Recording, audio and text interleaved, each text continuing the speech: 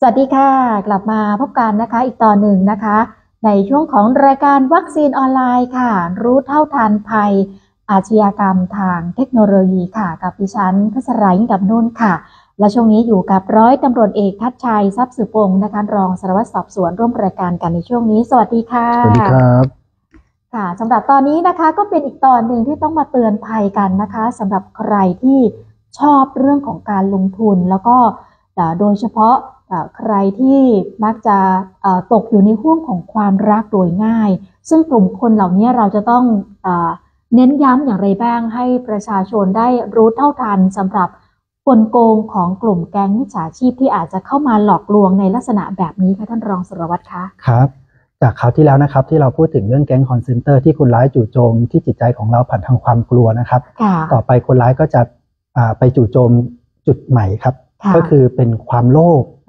ความโลภและความรักของเราโอ้ซึ่งเป็นค่ะอารมณ์อ่อนไหวของเราเลยนะครับค่ะคือโดยการที่คนร้ายเนี่ยอ่าอย่างสายเหงาทั้งหลายนะครับ ก็จะมีการเล่นแอปพลิเคชันต่าง ๆ เพื่อที่จะค่ะเจอคนรัก เจอผู้หญิงหรือเจอผู้ชายที่ต้องการจะคบหาพูดคุยด้วยครับ คนร้ายก็จะแฝงตัวมาในรูปของหนุ่มหล่อสาวสวยอืมหลอกให้เรารัก พูดคุยที่รักทุกวันค่ะจนวันหนึ่งเราหลงรัก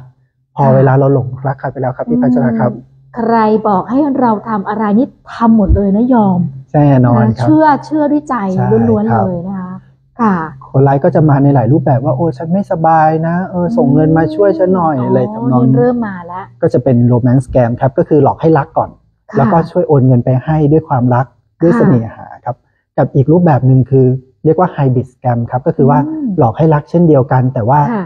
ชวนลงทุนด้ชววนยไปลงทุนว่าเนี่ยเล่นอ่าคริปโตกับฉันนะ ขายบ้านขายรถมาเลยนี่จะมารวยเหมือนฉันอืมจะได้มีอาสร้างครอบครัวอยู่ใช่ด้วยกันอันนี้ไปอีกไกลเลยใช่คนร้ายก็จะมาในรูปแบบหล่อ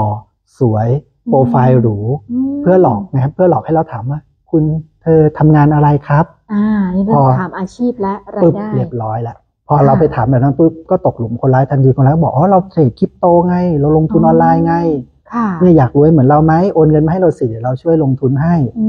มหรืออาจจะเป็นการส่งลิงก์ส่งอะไรมาให้เราคลิกเข้าไปค่ะพอเราคลิกเข้าไปปุ๊บอาจจะเป็นเป็นเว็บที่คนร้ายเขียนขึ้นมาเอง เพื่อที่จะใช้หลอกค่ะโอนเงินให้เราอืมทำกราฟทำอะไรหลอกว่ามีการเทรดออนไลน์ทำเหทั้มือนงที่จริงมีจริงทุกอย่างใช่ครับเสมือนจริงหมดเลย ที่จริงหลอกเป็นการหลอกทั้งสิ้นครับอืมค่ะ ซึ่งรูปแบบเนี้ยคนร้ายเขาจะต้องใช้เวลานานแค่ไหนคะเหมือนให้เราเริ่มรู้สึก รักและเชื่อและไว้ใจแล้วมันจะมีสเต็ปไหมคะอ่าส่วนใหญ่ที่ที่เจอมาจากที่ได้รับแจ้งความนะครับ ก็ประมาณบางรายก็สามวันครับพี่สามวันเองนะคะสามวันก็โโหโอนเป็นล้านครับโอ้บางคนก็ประมาณหนึ่งเดือน แต่ส่วนใหญ่จะไม่นานครับประมาณหนึ่งเดือนเศษโดยประมาณไม่เกินกว่านี้ก็ ก็จะรักกันแล้วอืมบางทีคนเราจังหวะเหรักงากันๆนะง่าคยรับมากพี่เจ้าออนไลน์จังหวะเหงาเพิ่งอกหักครับพี่โอ้พอมีใครเข้ามาพิเศษเลยดามหัวค่ะใจที่รักมาคอยเป็นห่วงอืมเป็นใยใจเราก็ให้เขาหมดแล้วค่ะนะคะ อันนี้อาจจะต้องแจ้งเตือนทั้งสาวๆแล้วก็หนุ่มๆอันนี้คือหนุ่มๆก็พลาดได้เหมือนกันนะสาวๆบางทีนะมีคนมาคุยด้วยทานข้าวหรือยังเหนื่อยไหมอ่า บางทีก็เริ่มรู้สึกนะ เกิดใช่ความไว้วางใจรู้สึกดี แล้วก็หลังจากนั้นสเต็ปต่อไป นะคะก็ก็อาจจะทำให้เกิดเอ่อการเอ่อหลอกนะในเรื่องของการชวนลงทุนหรือว่าไม่สบายหรือว่าต้อง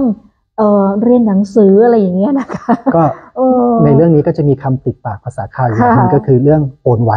โอนไวะเสียโอนไวใช่ทั้งหลายครับ ค่ะ ต้องระวังนะคะ อันนี้บางทีน้องๆ มาจ้าจ้าจ๋าจ๋านี่ก็ต้องระวังด้วยครับนะคะ นี่ก็เป็นอีกรูปแบบหนึ่งนะคะที่เราฝากเตือนภัยกันไว้สำหรับท่านที่ในยุคแบบนี้นะคะ เราต้องรู้ทันนะกลโกงนะเกมต่างๆ ที่คนร้ายมักจะเข้ามาตีสนิท โดยเฉพาะในรูปแบบโรแมนต์นะอย่างที่เราได้